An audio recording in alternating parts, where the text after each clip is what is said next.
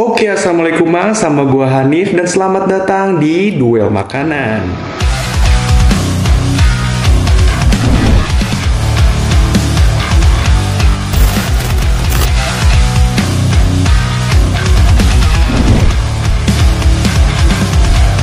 Oke Mang, jadi di edisi duel makanan kali ini gue bakal ngebattlein dua mie instan yang bener-bener lagi hype abis. Cila bahasanya hype abis. Jadi Indomie baru aja ngeluarin produk baru yaitu Indomie geprek hype abis. Gue udah pernah nyobain sebelumnya dan gue ngerasain sih emang emang pedes sih, emang lumayan pedes. Nah karena ini Indomie berhasil membawa mie dengan rasa pedes yang lumayan gitu ya. Nah timbul beberapa pertanyaan akhirnya pedesan Indomie atau Samyang nih karena Samyang juga banyak peminatnya dan punya rasa pedes yang menurut gua cukup pedes sih. Nah kita sekarang mau ngebandingin nih mana yang lebih pedes antara Indomie ayam rasa ayam geprek ini sama Samyang.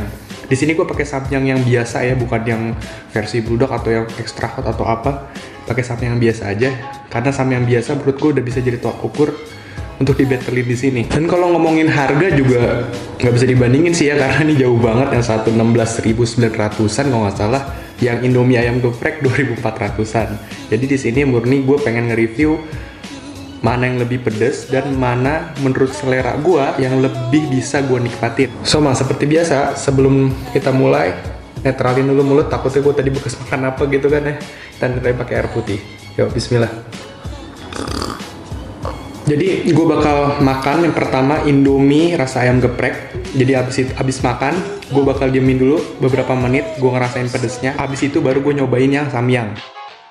Kita cobain yang Indomie geprek dulu. Bismillah. Sikat mang.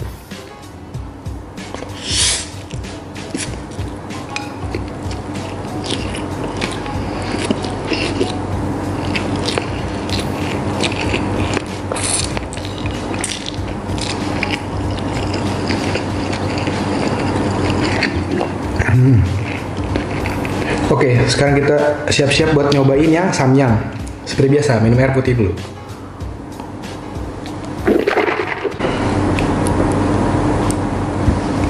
Yuk. Sikat.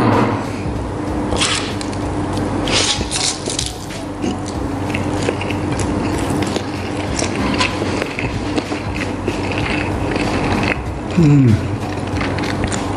Gue bakal tunggu beberapa menit juga untuk pedes sesamnya ngebakar mulut gue. Oke, sekarang waktunya gue review ya. Untuk yang Indomie, untuk pedesnya ya, untuk pedesnya jelas Indomie ayam geprek hype abis ini kalah sama Samyang.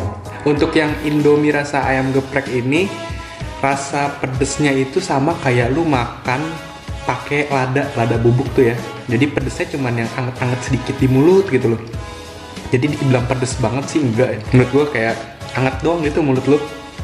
Dan begitu gue makan samyang, ternyata samyang ini ada rasa ngebakar-ngebakarnya ya. Cukup dibilang pedes sih, emang pedes kalau yang ini.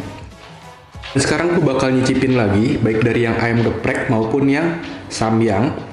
Buat gue nyobain lagi, mana yang lebih bisa gue nikmatin berdasarkan selera gue ya. So, kita cobain dulu dari yang ayam geprek ya. Ini by the way gue dua-duanya bu cuman ngerebus satu porsian doang mang. Yuk. Sikat ya. Bismillah.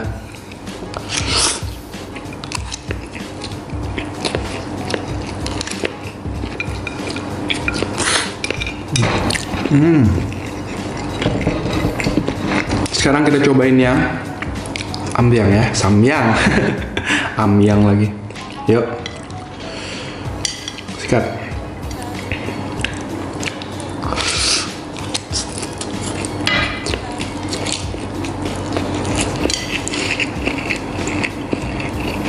Bibir gue merah banget ya abis makan samyang.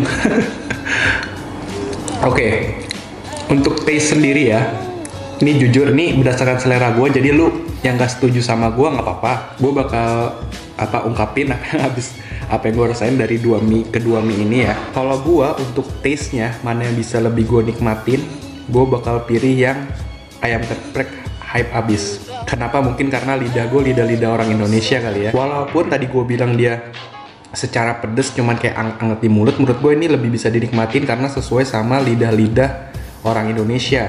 Dan kalau misalnya orang Indonesia itu kan tradisinya kalau makan Indomie biasanya pakai nasi ya. Nah, yang Indomie geprek hype abis ini, menurut gua kalau dipakai nasi rasanya lebih apa ya, lebih ngeblend. Sedangkan yang samyang ini dicampur pakai nasi ya, dimakan pakai nasi gitu kan ya.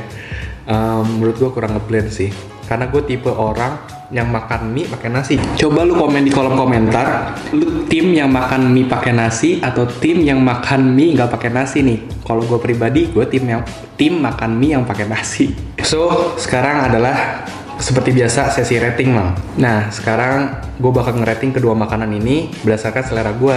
Sekali lagi nih berdasarkan selera gue. Menurut gue yang mie ayam geprek ini sebenarnya secara taste gue gue suka banget ya. Secara taste gue suka banget. Maksudnya bukan kalau diband kalau dibandingin sama mie yang original sih jauh gue lebih suka mie yang original.